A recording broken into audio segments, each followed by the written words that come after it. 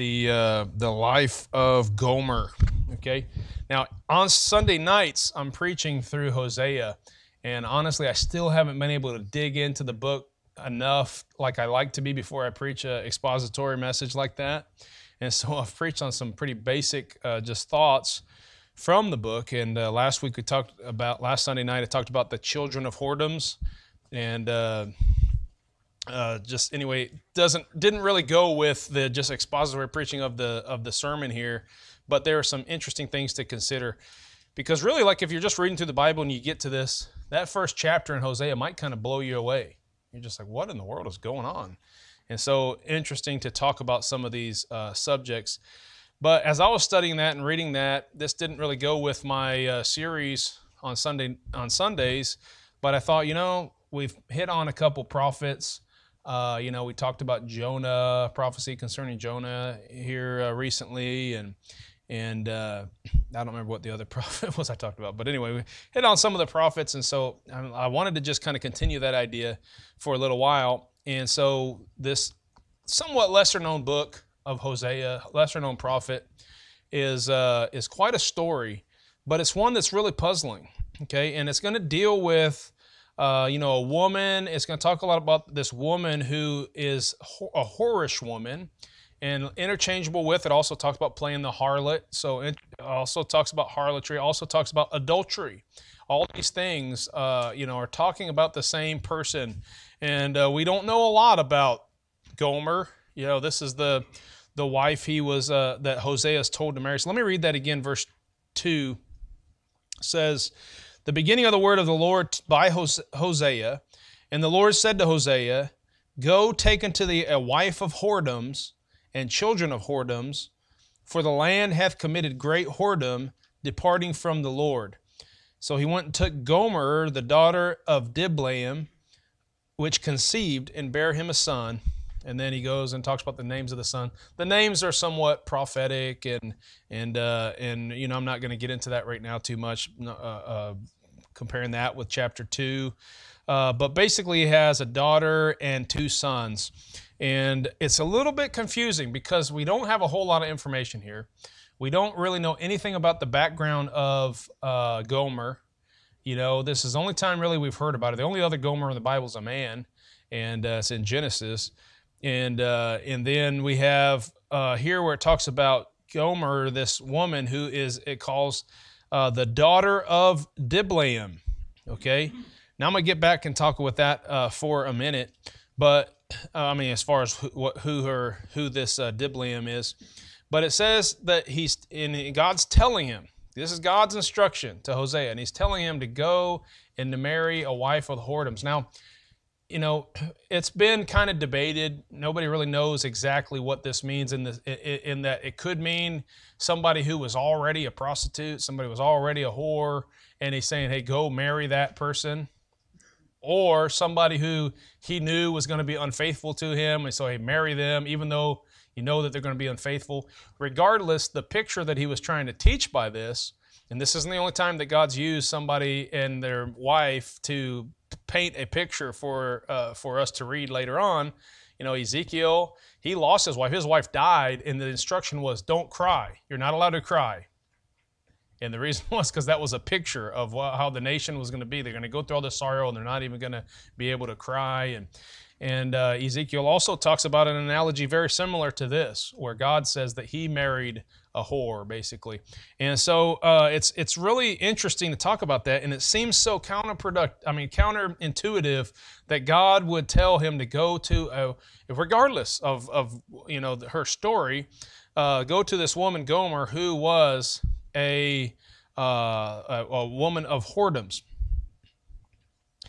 So, before I go any farther, let me just start off right away by talking about the seriousness of the sin of adultery, because this is what this is about. Now, he's using a picture about the unfaithfulness of, of Israel and the Judah to God, right? They went after, you know, false gods and they went after all the lust of the flesh and they went after uh, worldliness and stuff like that. And so he's using that as a picture of, hey, you know, you were in this married relationship to God and then you departed from God and you went after other quote unquote lovers, as, as the analogy goes, okay? But we understand by him using this analogy, we understand what he's getting at is that adultery is a very bad thing. Now, in this in our culture today, you know, it's not really that big of a deal. It's pretty common. Uh, whereas back, you know, many years ago, this it was it was very much shameful that somebody would be called uh, such a thing. And then go back even farther than that, they were put to death, right, for for committing adultery. So let me just real quickly go over some things about adultery, why it's so bad. Okay, the Bible starts out uh, in, uh, well, actually, let's look at Matthew first, okay? And then we'll look at the passage that Jesus is quoting. So in Matthew chapter 19,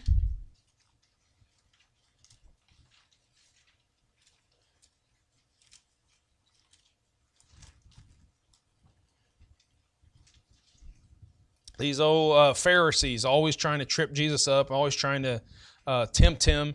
And it says, The Pharisees also came unto him, tempting him, and saying unto him, Is it lawful for a man to put away his wife for every cause?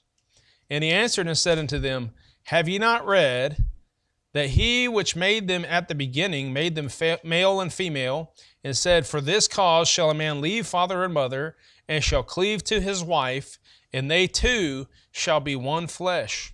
Wherefore, uh, wherefore they are no more twain, but one flesh. What therefore God hath joined together, let not man put asunder. Okay, and uh, and I want you to notice too what happened here. Look at verse ten. Well, let me. You know what? Let me just keep on reading. Where did I pick, stop? Uh, verse six. Let's keep reading. Verse seven. They saith unto him, Why did Moses then command to give a writing of divorcement and to put her away? He said unto them, Moses, because of the hardness of your heart, suffered you to put away your wives, but from the beginning it was not so. And I say unto you, whosoever shall put away his wife, except it be for fornication, shall marry uh, and shall marry another, committeth adultery. And whoso marrieth her uh, which is put away doth commit adultery. His disciples say, uh, uh his disciples say unto him, If the case of man be so with his wife, it is not good to marry. And then Jesus goes on talking about, hey, well, you know, not very many people can go without being married. This is a good thing. This, and you know, I just talked recently about how marriage is such a good thing. It's the perfect thing in the sense that God made, male, uh, made mankind. He made a male and female, and He said, "Come together, be fruitful, multiply." Like this is like the perfect thing that you could do in this life outside of you know your relationship with Jesus Christ is to get married become one flesh, have a child, and now you got a family. I mean, that's everything working perfectly. But in our, uh, you know, in our human nature and our flesh, you know, we've kind of messed that up, and we've we've created all these different scenarios that make it much harder. And so God had to deal with those scenarios, and He gave certain rules on how to deal with that. But Jesus. Uh, quotes back uh, to Genesis where he says, In the beginning, God created male and female, and he said, You know, let not the twain you know, let let them not uh, uh, let let them, well. Let's just go there. Hold your place though, because I'm gonna come right back.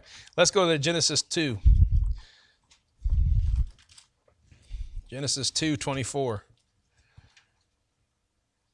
Therefore shall a man leave his father and mother, this is what Jesus was quoting, and shall cleave unto his wife, and they shall be one flesh.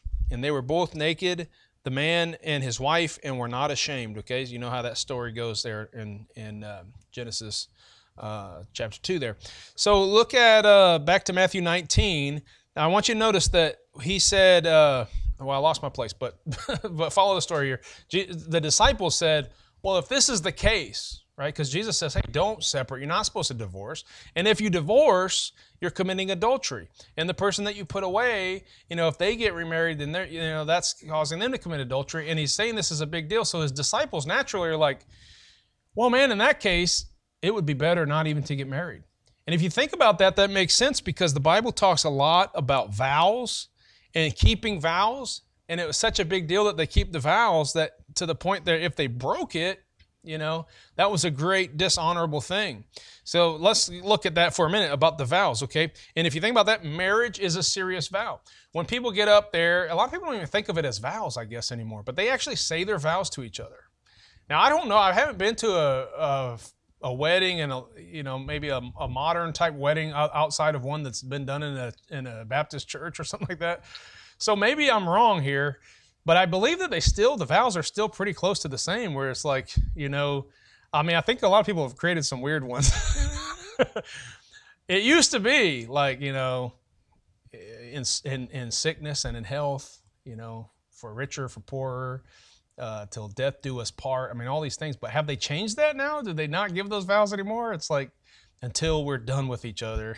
you know what I mean? Then we're, you know. But it used to be a vow like, hey, till death do us part. You know, and and this is what he's saying: let not man put asunder, right? And uh, and so nowadays there's uh, you know there's a departure from that, but that is a vow. That's a sacred vow. Now we're not supposed to make a lot of vows, and the reason why is because if you make a vow and you break it, that's a big deal. And so it's better not even to make the vow. The Bible makes this very clear. Look, uh, uh, look at James chapter 5.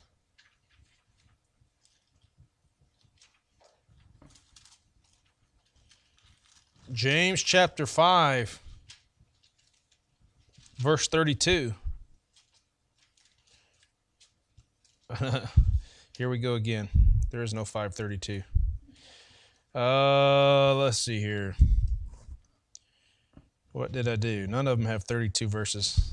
I, th- I think it was, let me see here. I know it's James 5. Oh, James 5 12, sorry. But above all things, my brethren, swear not, neither by heaven, neither by the earth, neither by any other oath, but let your yea be yea, and your nay be nay, lest ye fall into condemnation. Now look back to uh, Ecclesiastes chapter 5.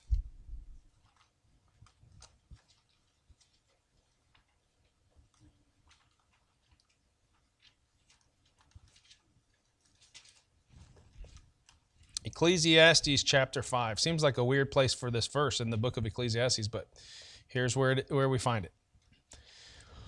Ecclesiastes chapter 5, look at verse 4. Ah. When thou vowest a vow unto God, defer not to pay it.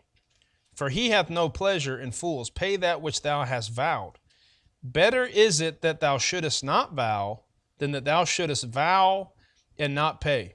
All right, one last place. Look at Ju- Judges chapter 11.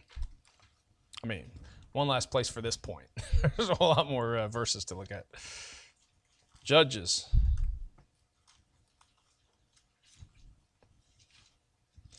And go to chapter 11.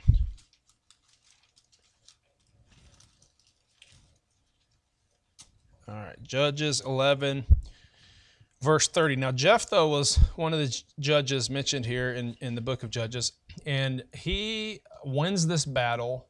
And uh, in, in you know he's making this deal with the Lord. He says, uh, what did I say, 26? No, uh, ver- starting verse 30. And Jephthah vowed a vow unto the Lord and said, If thou shalt without fail deliver the children of Ammon into mine hands, then it shall be that whatsoever cometh forth of the doors of my house to meet me when I return in peace from the children of Ammon shall surely be the Lord's, and I will offer it up for a burnt offering.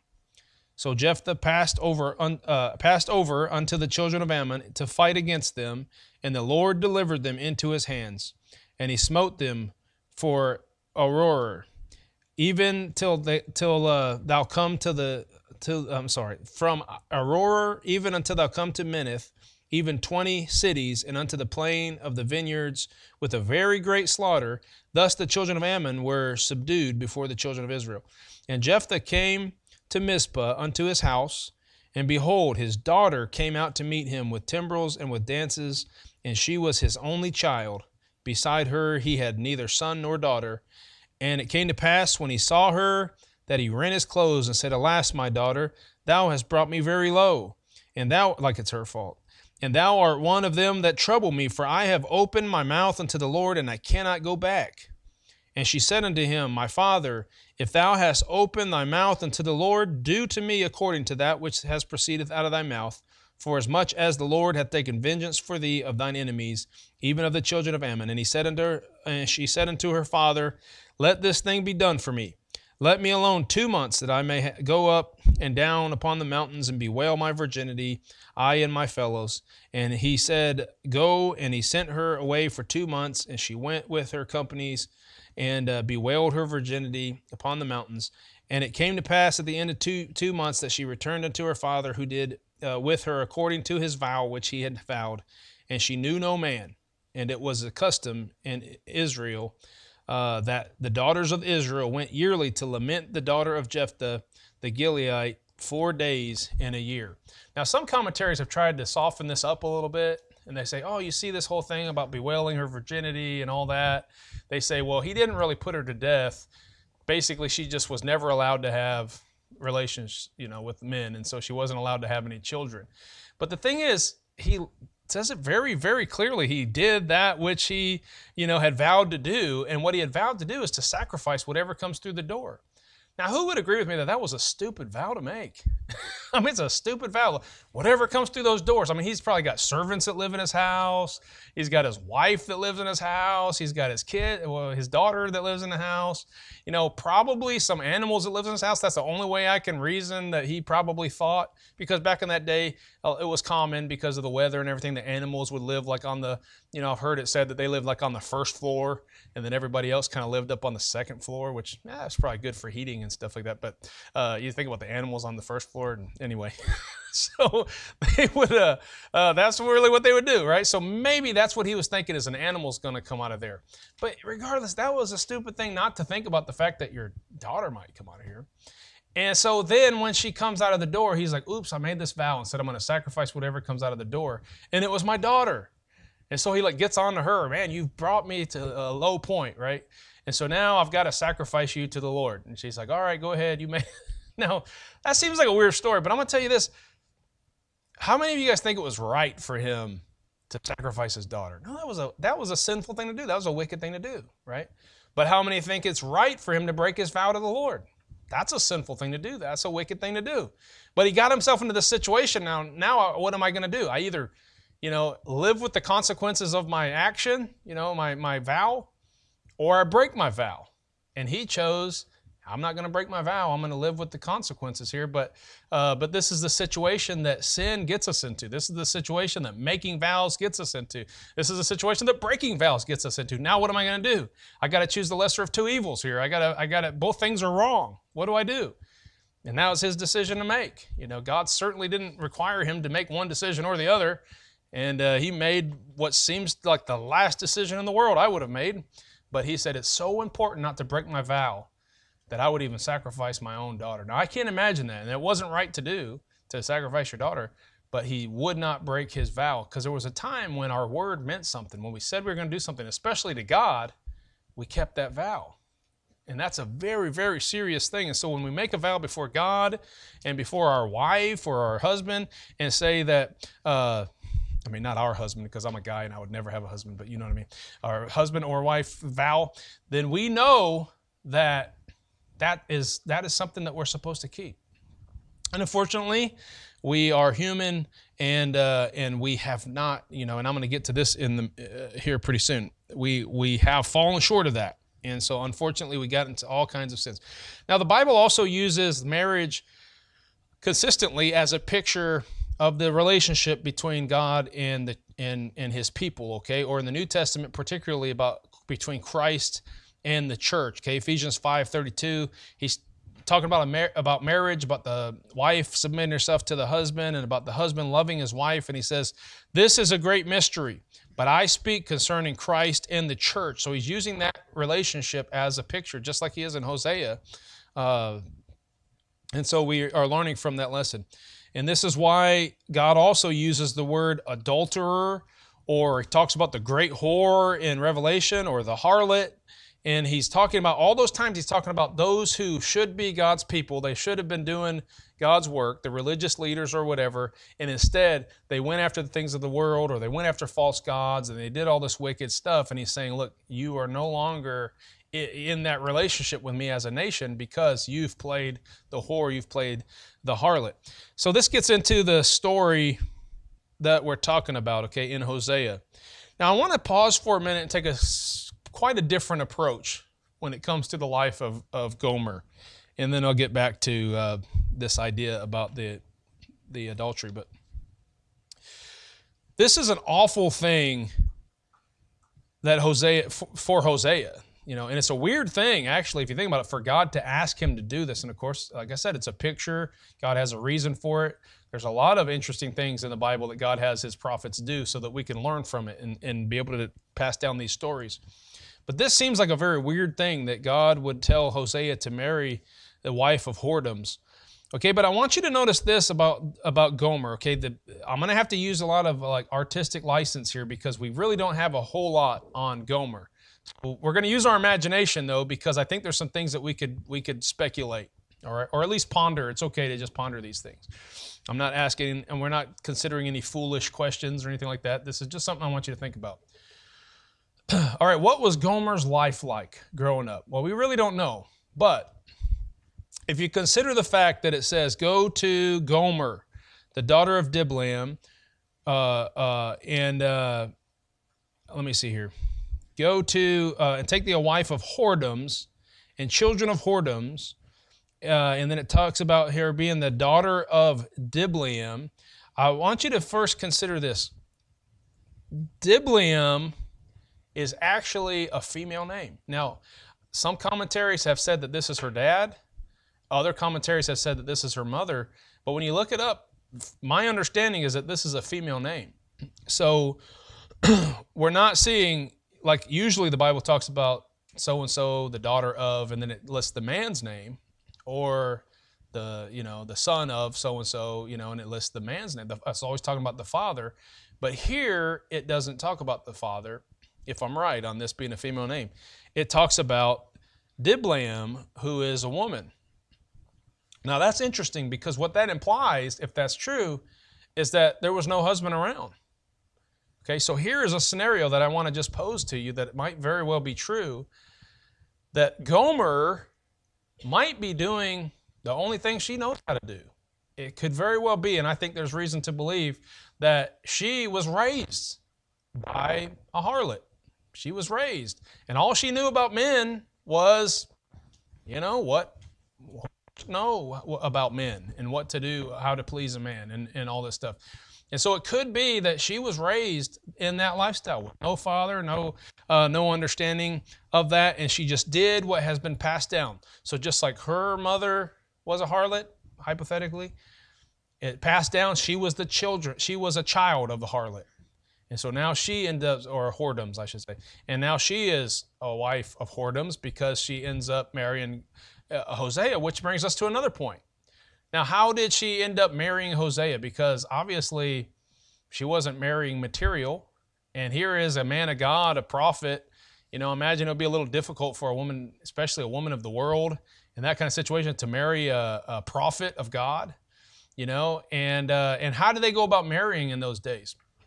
Well, you look all throughout the Bible, and it's almost always a deal, an arrangement between the man and the the family, right? The the the, the parents and they're like, "Hey, I want to have your daughter," and uh, and uh, what they would often have to do is pay them a bunch of money, right? I was to make a joke about Austin, but that wouldn't be appropriate. so, uh, but you, you understand what I'm saying, okay? They would have to they would have to pay this. Now, listen to this. Now, you go to in this case, this Gomer's, you know, mother is raising her, and here comes. Uh, I'm sorry, I distracted. Quit laughing. Okay, so uh, so Gomer's uh, uh, mother, you know, Hosea comes to her. All right, let's assume I'm right, and she's a she's a prostitute. Now Gomer is to, I mean, uh, Hosea is to offer her money to buy her daughter. What do you think she's to do? She's to take it. She's going to take the money. Hey, this is great. Now I don't have to take care of you. You got a man that can take care of you.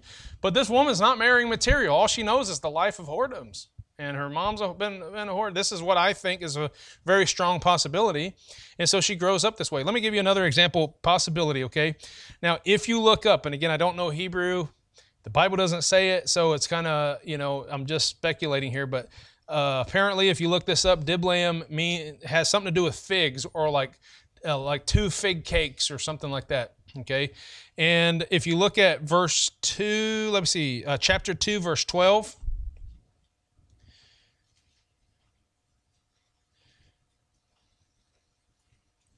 says, I will destroy her vines and her fig trees, whereof she hath said, These are my rewards that my lovers have given me and I will make them for so he's saying God's saying the punishment and he's making the analogy with Israel here but he's saying he said this is uh, uh, you know I'm going to take those fig trees which you said hey this is uh, this is my reward. Okay? Now one possibility is that this name uh, Diblaim talking about the fig cakes or whatever possibly could have been an understanding, like, like a nickname that she got because that was the reward that she got, the price, if you will, for what she did for a living, right? The price was, hey, you give me these figs or you give me these. And so it's, it's I, you know, I'm leaning towards thinking that that's what it is. There's not a whole lot in the Bible to show us that for sure, but I'm leaning towards what that is, and it makes sense you know, that they would have just been, this would have been in the, a business in the family, family business, just passed down generations or whatever, and they don't know any different. And you got the wife of, uh, or the, the mother of whores here, and then you got the children of whores because they don't know any, they don't know any different. And this is the situation of what we see that, uh, that Hosea is going to marry. Now, Hosea, you know, he's a man of God. He's, he's, a, he's a prophet, probably kind of boring, you know. I mean, I guess the life of a prophet wouldn't necessarily be boring, but you know, kind of from her point of view, like he's just a nobody. Probably didn't have a whole lot of money. You know, I'm guessing not like the men that she had probably been running around with, the rich and the wealthy people who were who were buying, you know, some time with her or whatever. And she calls them her lovers, and she keeps going after them uh, because you know she's drawn to them. She probably had no attraction to Hosea She's just in a relationship because Hosea paid the price and and and had her. Now again, God's using this illustration to show us this is a representation of his people who would decide, you know what, I don't want to, I no longer want to be in this relationship. I want to go after these other. And so there's this, you know, hey, you're supposed to be mine, but here I'm having to share you with these other with these other men. And uh, and so this is how God feels because we as his as his people you know oftentimes will go and i'm you know i realize the main application here was in that time talking about the jews but think about it today. You know uh, look at look at uh, uh, james i'll just read it to you. James 4 4 says ye adulterers and adulteresses. Now, he's not in this context really talking about people who have committed adultery. He's talking about spiritually. He says ye adulterers and adulteresses know ye not that the friendship of the world is enmity with god? Whosoever therefore will be a friend of the world is enemy of God. So you can rest assured that we could apply that to ourselves and say, hey, we are God's people. When we go after the world or worldly lust, you know, all that's in the world, lust of the eyes, lust of the flesh, pride of life, you know, these things aren't of God. And so if we go after these things, we're actually being an en- enemy of God. And we're definitely not loving Him and entering into that relationship as we ought to be. Uh, Look at, uh, if, but if you think about this, okay, so that actually adds to me a layer of the story of Gomer. Because if you think about it, now I'm not a Calvinist, and so the whole depravity, if you're familiar with the, uh, the Calvinism, like the, uh, the, the TULIP, you know, is the acronym that Calvin didn't come up with that, but somebody put it into an acronym T U L P I, uh, how you spell tulip? T U L I P or T P. Yeah, that's the five points of Calvinism. Well, the first one, the T, stands for total depravity, okay? Now, look, I don't believe in any of the five points of Calvinism, but here's what I do know we can't deny the fact that man is depraved, okay? Now, I'm not talking about, you know, see, because the idea of Calvinism to some extent is that you know, you can't do anything. You can't come to faith unless God puts the faith in you and all this kind of stuff. Like, I don't believe that. I believe we all have a measure of faith within us and we have the capability of coming to the Lord, or else He wouldn't have said, Whosoever will may come.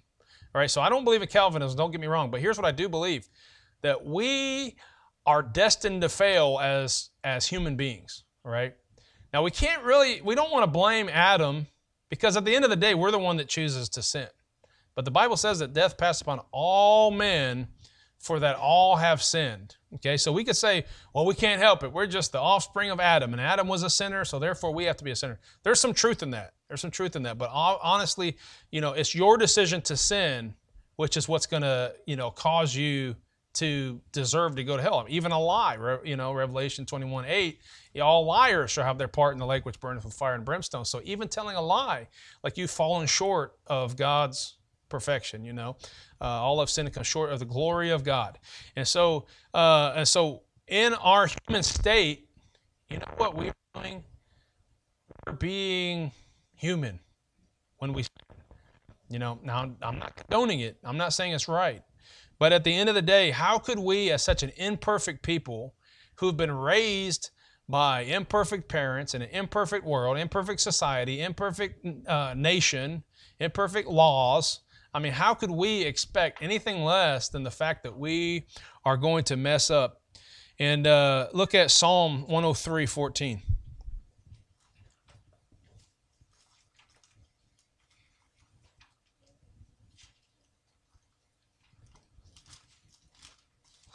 Psalm 103 14.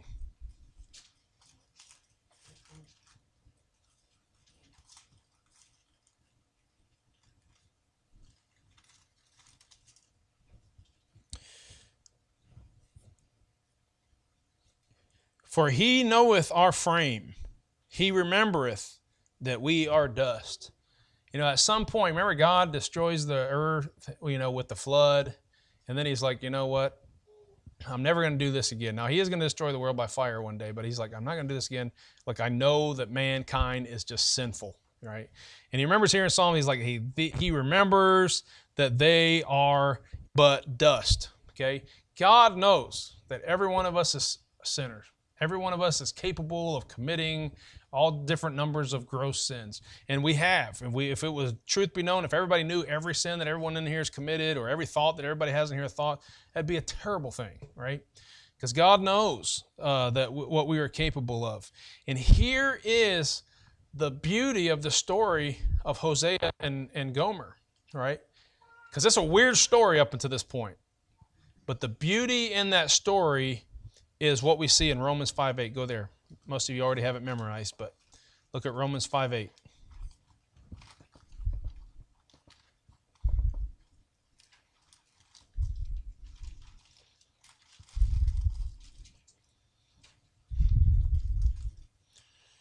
You see, Gomer in the story here, she's going to basically run away from home and go after her lovers and and uh, think that they're the ones that are taking care of her and all this stuff when they're really not. And then Hosea is actually going to go and he's going to pay for her to get her back. Right? He's paying for the one that has has been unfaithful and has cheated on him, and he's paying to get him back. The Bible says in Romans 5 8 says, uh, uh, well, let me back up and get a running start to this. Okay, so it says in verse 6 For when we were yet without strength, in due time Christ died for the ungodly. For scarcely for a righteous man would one die. Yet, peradventure, for a good man, some would even dare to die. But God commended his love toward us, in that while we were yet sinners, Christ died for us. And so, the beauty of the story is that God has understood that at the end of the day, we are sinful flesh. Now, we're going to pay for the sins. You know, we're going to be uh, shamed. We're going to be punished by God. Uh, and look, you can't read Hosea and find out that God, God's not just winking at that and being like, hey, no big deal. He's going to punish it harshly. Okay, but at the end of the day, what it comes down to is not focusing on how sinful and how frail the people are that commit sins, because they, that's for sure, but focus on the fact that, you know what? Jesus Christ still died for those sinners. Okay? Now, there's a matter of disciplining those who are his that commit those same sins that, you know, that the that the world would commit.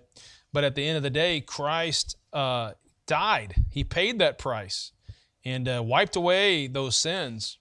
Okay, so uh, so this is a hard thing to understand. But then to just turn our back on God continually, and we do. He died for us. He's forgiven us of our sins whenever we got saved uh, past, present, and future are all forgiven. So then, what what do we do? We kind of spit on that, and we and we make a mockery of that, and we continue in sin. We still go after the world. We still go after our own pleasures and the lust of the eyes and the lust of the flesh and and the pride of life. I mean, these are the things that we live in our life every day. We have to fight. We might give God a little bit of time You know, we might say a prayer before we eat. We might go to church once or twice a week. That's a, such a small amount of time considering the life that we live in the world. You know, I mean, almost it would almost be like if you think about it, it'd be like like like Gomer, like spending all her day just running the streets, and Hosea is like, "Well, where's my wife? I got a feeling I know where she is." You know, she's running the towns, trying to flirt with other men and trying to get something from men, and and, get, and they're paying her and they're buying her all these gifts and all this kind of stuff, and and and just running the street. And then at night, when it's time to go to bed, just pop in and be like, okay, you know, now I'll, you know, now home, take care of the, make sure the children are fed, and do all this stuff. But the whole rest of the day, she's running around. You know, that's kind of like the Christian that just like, okay, I'll come to church because I'm supposed to be in church, and then the rest of the rest of the day, you know, rest of the they're running around doing the things of the world, committing all kinds of sins and stuff like that. They're not trusting in God. They're not uh, having faith and, and living right, living holy for God. How do you think God feels? You know, how, how, how, we, we, we can just get a small glimpse of the life of Hosea and think, man, how terrible that must have been for Hosea. You know, this is his wife, mother of his children. It's a little bit undecided what it means by children of whoredoms. Like, like did she act, were they actually his children, or or did she actually conceive children from other men, and they're his children because she, he's married, and so is it his responsibility? I don't know, but uh, but how hard it must have been for Hosea to have to deal with that. But that doesn't even compare to what a perfect, loving God, all loving God, I mean, without flaw. You know, God's without flaw. When we mess up, when, when someone messes up that we love, we can have forgiveness because it's like, you know, I've messed up before too. But when we sin against God, God does God can't sin. He can't lie. He can't do any of these things. So think about how hard it is for him to just deal with the fact that He's died for us, He's given us everything, even though we're sinful, and yet we continue to live in sin. Right? This is kind of what we get from the life of Gomer. I'm glad that Jesus shows mercy on on us. I mean, there's stories in the Bible. If you talk about, you know, adultery, for instance, people be like, "Oh, what about the woman that was, you know, she was uh, caught in the act of adultery?" And Jesus, what did he say? You know, neither do I condemn thee. Go and sin no more. And uh, and a lot of people make a big deal about that, like, oh, you know, he could have condemned her, but he says, I'm not going to condemn you. How about the woman at the well? You know, he says, where's your husband? And she says, well, I don't have a husband. He said, you're right. You've had five husbands, and the one that you're with now is not your husband. Right? And so he's really kind of condemning her for what she's doing. But everyone looks at that and says, yeah, but he has mercy on her. And she goes, he says, sin no more. And she goes and tells all the people and, and all this kind of stuff. Look, we understand God is a merciful God. Jesus forgives. Jesus is, was, was patient, loving, kind for everybody. But you still, you, you don't think that he's hurt whenever we sin against him? You don't think that he's still going to going to punish and allow us to reap the consequences? We do, just like just like Gomer did, and just like the nation of Israel, the nation of Judah, which is what, what was being pictured, they received a lot of uh, of discipline to this day. As a nation, it receives uh, that that discipline. Okay, so but I'm glad of the uh, of the story of Gomer as well that teaches us a valuable lesson. It's not an excuse to sin. It's not condoning sin in any way. It's just giving the reality of the fact that we do sin and we do mess up our life and make bad decisions and how hurtful that is to God and everybody else around. All right, let's go to Lord in prayer. Father, I thank you uh, for the story, though we might not understand it, or the story of Jephthah. Lord, um, somebody might wonder how you could allow him to uh, to get away with sacrificing his daughter, or how you could, uh, you know, have uh, Hosea marry somebody who's going to uh, be a wife of whoredoms, and and how could you do certain things in the Bible? But at the end of the day, Lord, we know that you're perfect. We know that you know what's best. You've given us a perfect word. You've given us great uh, uh, warnings against sin and what will happen to us if we continue in sin and and you've given us great warnings on these things. I pray you help us to just heed them, help one another not to fall into sin. Lord, help us work together as a as a church family uh, to keep each other uh, serving God and being loyal and faithful to God. I pray you receive the glory by what we do as a church. In Jesus' name I pray. Amen.